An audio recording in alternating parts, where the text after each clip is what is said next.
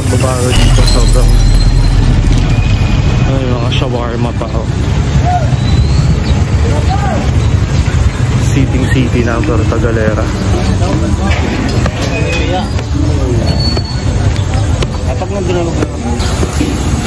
And that's our service. Wala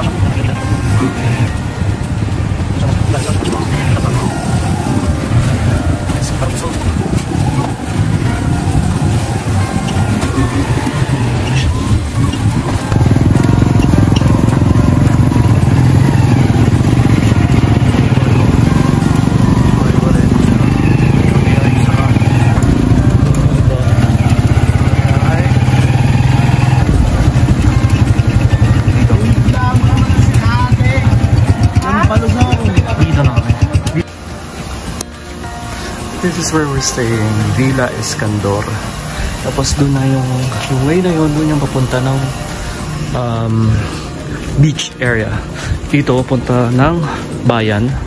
Passes road sa palengke. Hopefully, I think. Kasi magkakatabi na rin naman yung mga bahay dito. So, titrace lang natin. Naririnig naman natin yung tricycle. I suppose may daan palabas ng kalsada. It's 1 p.m. Bilis ang biyahe din namin. We got support ng around 7 I think. Uh, no, 8 o'clock pala. We left Manila ng around 6. Uh, before 6 kasi we got there sa uh, bus terminal ng around around before 5.30 the bus left uh, before 6 yung tricycle and then we, got support ng 8 nakalis na yung biyahe na 8 o'clock. Ayun papunta pa na isang white ng beach. Tapos umalis yung ferry. Yung fast craft ng um, ano is that? 11 then here we are 1 p.m So ito yung main road, way back here. Kaya bumili ng chinelas. Bili lang kami ng tubig and counting stocks.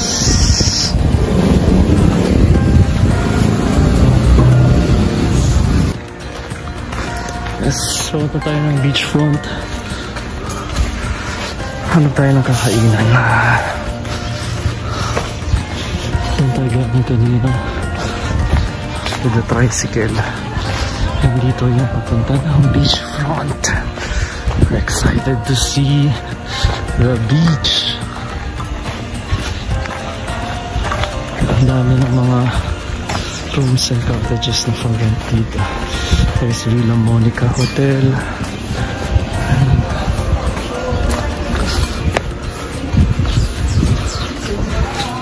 This Villa Monica.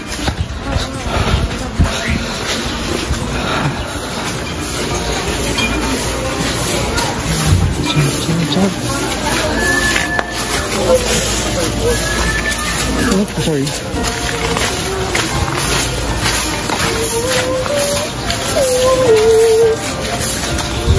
Ayan na yung beach front. Lapit na. Ayan na, ayan na. This Banggera Inn. Banggera, Banggera. Taas nito.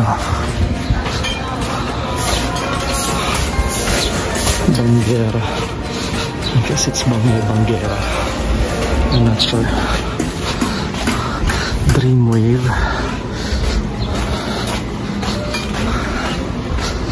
Ayan yung mga souvenir shops.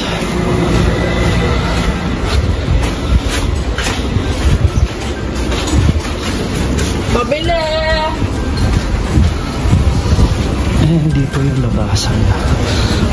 Yung access. And that's the beach. There. Right here. I think it's White Beach. Ah, yun yung mga activities. Mga activity areas. Anyway. And then we're something to eat here. This area. Nice. Salamat. Ah, Thank you. Oh, nice. Wala masyadong tao. Or kasi sobra init. Tulog pa most of the guests. Hi, Pertagadera, White Beach. Long time no see. This is another food court.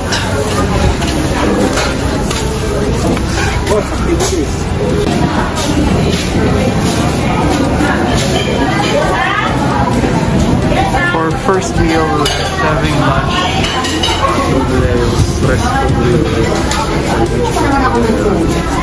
Having grilled pusit. And then having paa.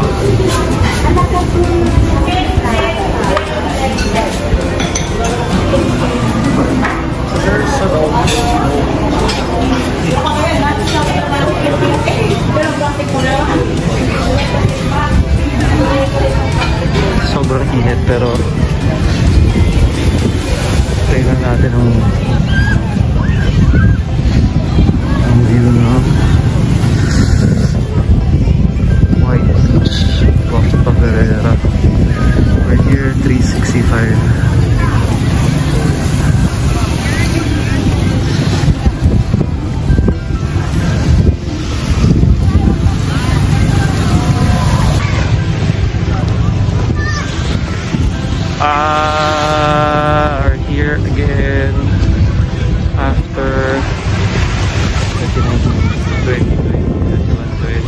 three years. Happy to be back. Dami ng developments sila dito. Nagawa na yung mga steps. So safe nang nakakaakyat going to the lodges. This volleyball, I used to stay doon sa side na explore natin kung okay na yung area na yun.